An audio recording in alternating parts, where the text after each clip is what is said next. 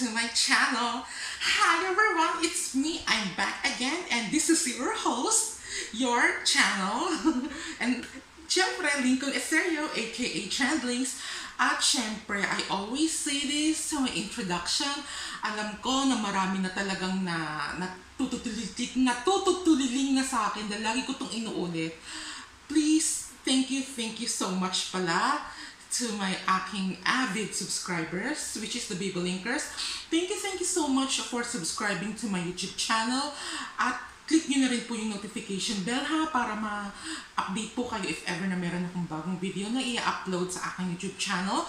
At sa mga hindi po nakakapag-subscribe pero nakapag nakapanood na at napadpad sa aking video at video channel at nakapanood ng one of my amazing videos, ano pang inaantay nyo? Please, please, please, please do subscribe now to my YouTube channel. Pinagpapawisan na ako sa kakaramayan sa inyo. Please do subscribe now to my YouTube channel. It's Lincoln Eserio, aka Trendlings. At i-click nyo na rin po yung notification bell para ma-updated po kayo if ever na meron akong bagong bagong video na i-upload sa aking YouTube channel. And without further ado, let's start our review for today. This is one of my favorite topic, which is versus to versus. Laban kung laban, produkto laban sa produkto, at sino pa talaga ang magtatagumpay. So nakita niyo na po yung title. This is very one of the most crucial video for today because labanan to ng mga magagaling na lotion, ng mga whitening lotion.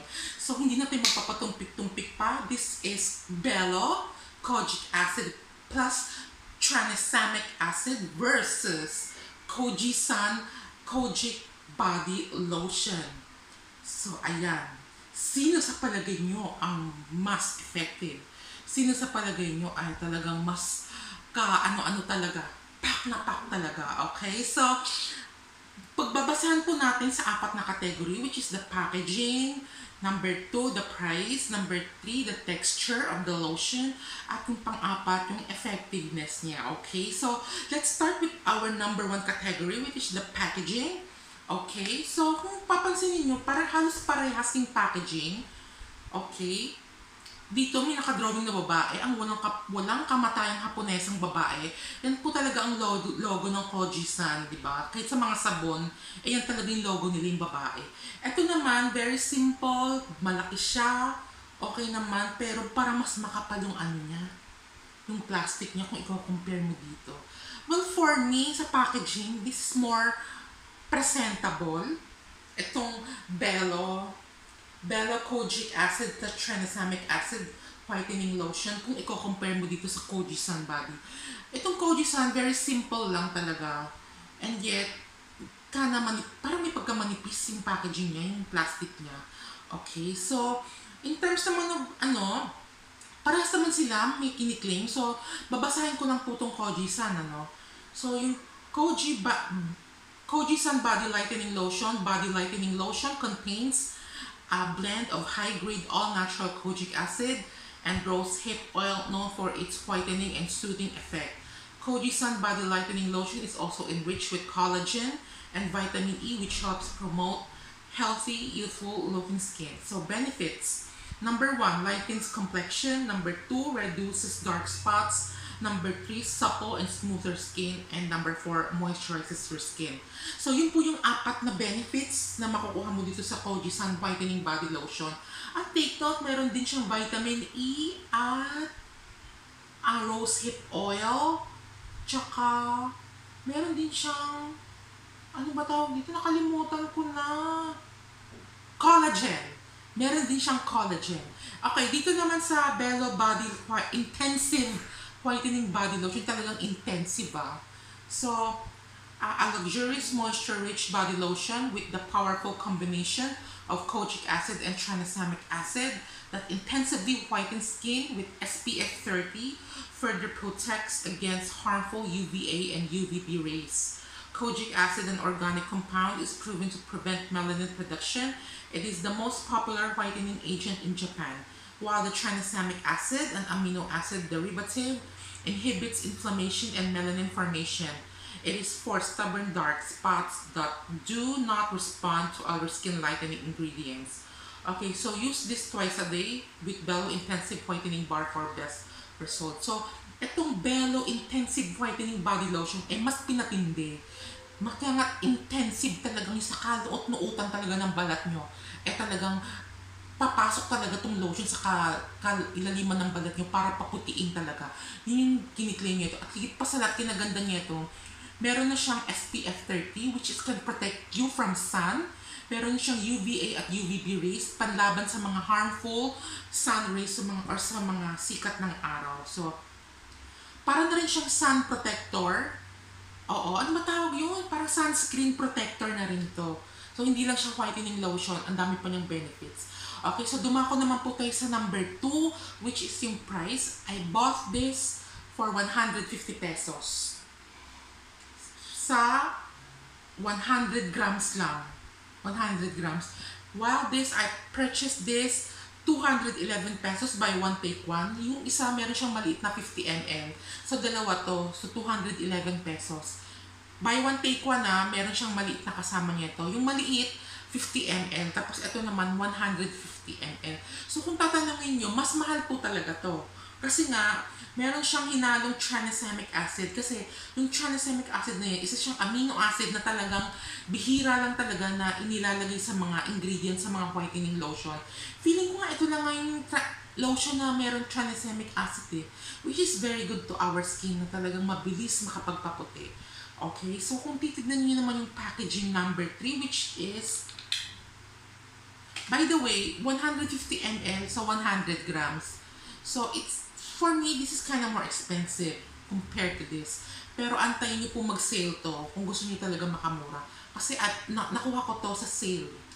Buy one, take one. So, kung titignan niyo po yung ano niya, malapot, may pagka malapot na malabnaw. Pero ito talaga, itong... Shit! Ayan siya, oh halos parehas, walang pinag, ano, ayan, papakita ko lang ha. Ito yung sa Belo, ito yung sa Kojisan, ito yung sa Belo, ito yung sa Kojisan. So, kung titignan nyo, walang pinagkaiba. Malabnaw talaga siya, nagiging tubig agad. Tapos, ito yung sa Belo. ah. Ang bango. Grabe. Sobrang bango. Wala talaga akong masabi. Ito naman, hindi siya gaano, mabango siya, pero hindi siya ganun katapang yung amoy niya. Itong Koji-san.